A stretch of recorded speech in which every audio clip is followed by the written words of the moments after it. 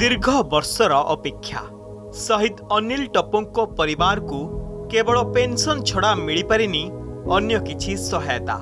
युन्दरगढ कुमुन्डा block चुटिया टोलार सहिद अन टपो सिआईएसएफ्रे कार्यरत अनिल मात्र मत्रत वर्ष देश सेवा देशसेवा सौभाग्य पाले त्रिपुरा अगरतालै माओवादी लडैर सहिद हुनल जे पू कुरा मात्र देढ वर्ष ଏବେ ପୁଅ ସତେଇଶ ବର୍ଷର ହୋଇସାରିଛି ପେନ୍ସନ୍ରେ ସିନା ଭରଣପୋଷଣ ହୋଇଯାଉଛି କିନ୍ତୁ ପୁଅର ଭବିଷ୍ୟତ ନେଇ ଚିନ୍ତିତ ଅନିଲଙ୍କ ପତ୍ନୀ ମେରି ପ୍ରଭା ଟପୁ ମୁଁ କହିଲି ମୋର ତ ମୁଁ ତ ଚଳୁଛି ଯେମିତି ମୋ ମୋତେ ତ ପେନ୍ସନ୍ ମିଳୁଛି ଚଳିଯାଉଛି ହେଲେ ମୋ ପୁଅ ପାଇଁ କିଛି ଜବ୍ର କିଛି ପ୍ରବନ୍ଧ ହେବ ହେଲେ କହିକି କହିଥିଲି କମାଣ୍ଡେଣ୍ଟକୁ ହେଲେ କମାଣ୍ଡ ତାଙ୍କ ଅଫିସ୍ ଡକାଇଥିଲେ ସେ C S F Rourkela steel plant ଯାଇଥିଲେ लेटर ଲେଟର୍ से रांची को पठेबे हो सके बापा बदल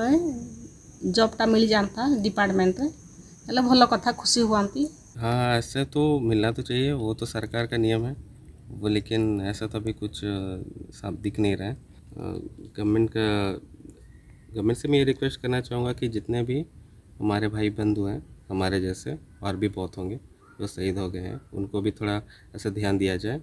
और जैसे कि अभी मेरी मिट्टी मेरी देश अभी जो अभी जो चला है नया स्कीम जो सेंट्रल गवर्नमेंट के द्वारा ये स्कीम पहले ही हो जाना चाहिए था क्योंकि ऐसा बहुत अनदेखा हो जा रहा है हो जाता है आ, हम जैसे कि शहीद हो जाते हैं लेकिन कोई पूछते नहीं है तरफ रू मेरा मिट्टी मेरा देश कार्यक्रम ଦେଶ କାର୍ଯ୍ୟକ୍ରମରେ କୁଆରମୁଣ୍ଡା ବ୍ଲକ ହରିହର ହାଇସ୍କୁଲରେ ସିଆଇଏସ୍ଏଫ୍ द्वारा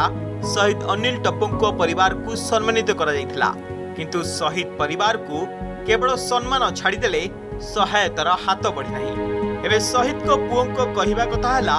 ତାଙ୍କୁ ବି ସୁଯୋଗ ମିଳିଲେ ସେ କରିବେ ଦେଶ ସେବା କିନ୍ତୁ ସରକାରଙ୍କ ସୁଯୋଗକୁ ଅପେକ୍ଷା ସୁନ୍ଦରଗଡ଼ ବୀରମିତ୍ରପୁରରୁ ସୁଧୀର କୁମାର ପାଣିଗ୍ରାହୀଙ୍କ ରିପୋର୍ଟ ଅର୍ଗସ୍ ନ୍ୟୁଜ୍